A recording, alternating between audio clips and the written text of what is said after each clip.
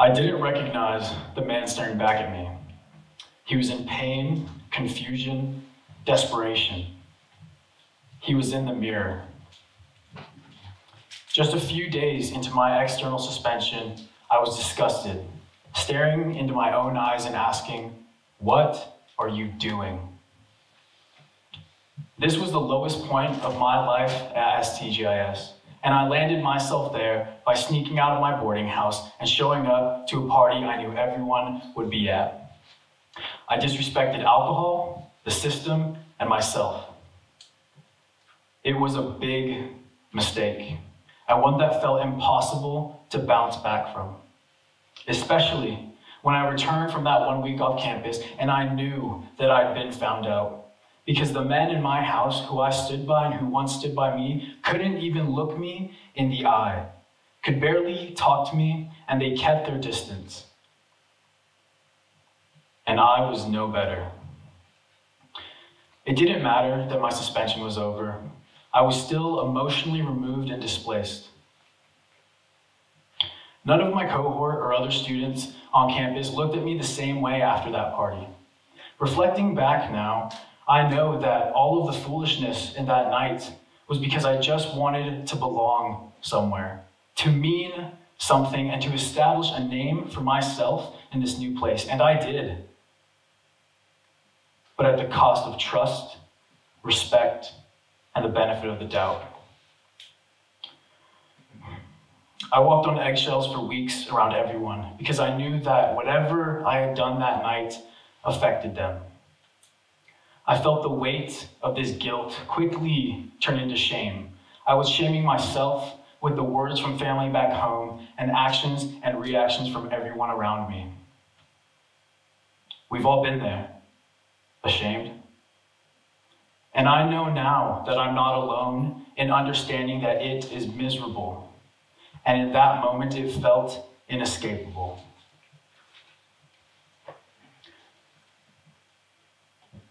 Mary Lamia, PhD, communicates that shame is toxic and crippling, triggered by self or others, and requires perspective in order to overcome. You see, I had to fix this. For myself and everyone else, I knew that. But how? So I started by finding the staff who needed to hear what I had to say. And I told them exactly what they already knew. I failed. I made a huge mistake. And that confession and the aftermath that followed it was the beginning of an uphill battle that was the right thing to do. I found another stranger staring back at me, this time in my own room. And I looked him in the eye and I said, You're better than this.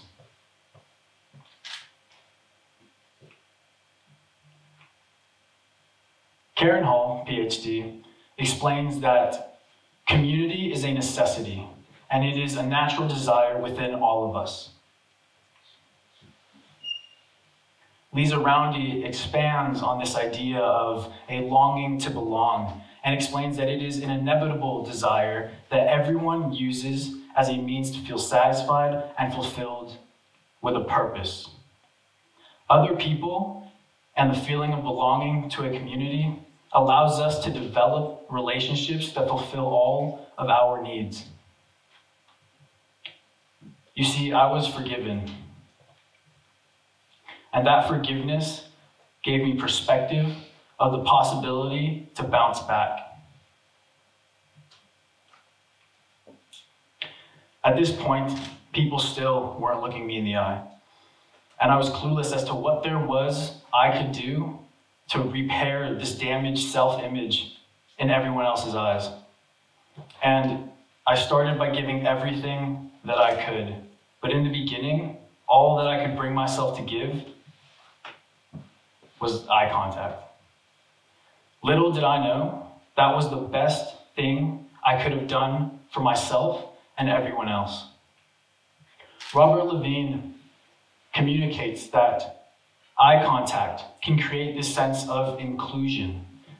That inclusion is the same feeling of belonging that Karen Hall, PhD, explained is a necessity to us, like food and shelter. Professor Wesselmann and a colleague conducted a social experiment on Purdue University's campus. Professor Wesselmann chose strangers on campus at random and observed them. His colleague then proceeded to attempt to make eye contact exhibiting a smile or no smile, or looking past them as if they were air.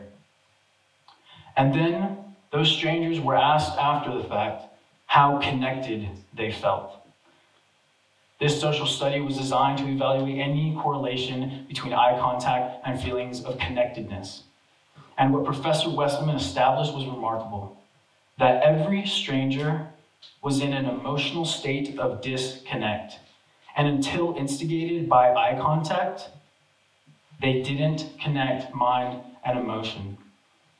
All of us in here today are in a constant state of emotional disconnect. And strangers agreed that the ones that had felt the eye contact felt more connected than anyone who had been looked at as if they weren't there. A gesture as simple as eye contact can create this necessary connection between mind and emotion. And what I didn't know in the moment was that I was connecting people's minds and emotions, and they were doing the same for me. Given my own circumstances, this engagement, it felt new again, and it felt like more forgiveness. Now, at this point, you might be asking, how does this connection take place, and how do we know that it does? Well, the answer lies within biological processes, and I can refer to my own biology course here on campus. Neurotransmitters, also known as endorphins, are secreted from our pituitary glands in our, in our brain. The most common among these are dopamine, serotonin, and oxytocin.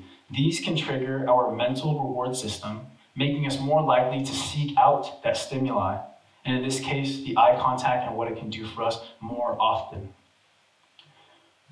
Studies out of Purdue University explain that personal interaction can induce these neurotransmitters at a level equivalent to those induced by soft drugs like alcohol and nicotine.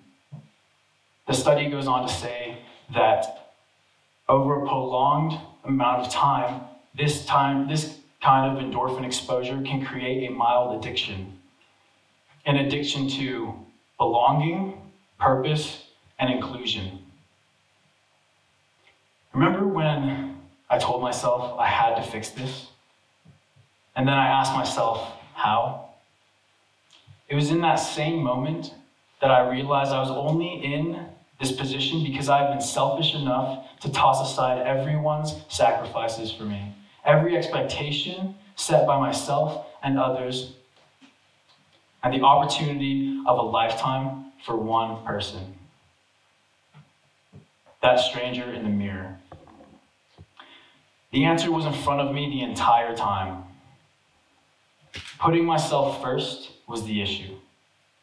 Working every day to satisfy my needs was the issue. And neglecting and being careless with everyone else's was the issue.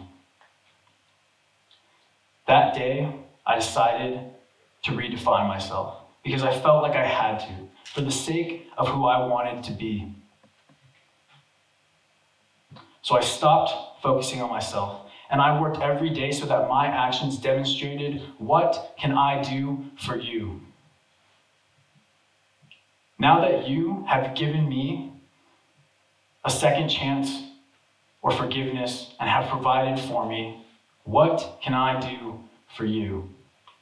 And this began as a phase and then it stuck.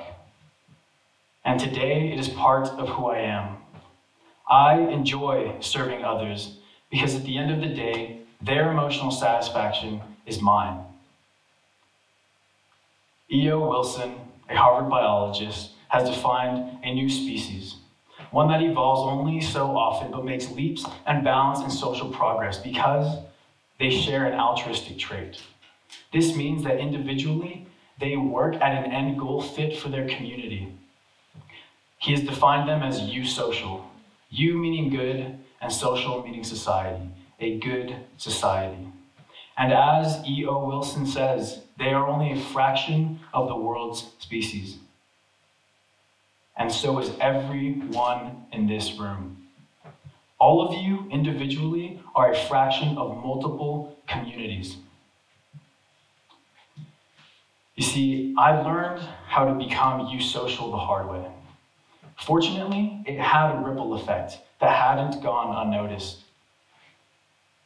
And I was surprised and honored at the, at the end of last year to have been awarded on this same stage the Excellence in Care Character Award.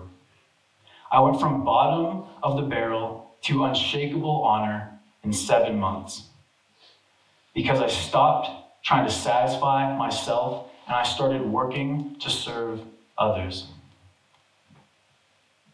Today, I'm proud and satisfied with what I see in the mirror, and I know other people are proud of who I've grown to become.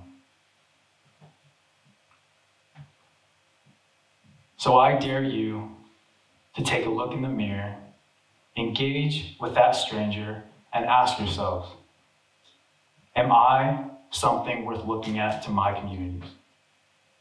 Thank you.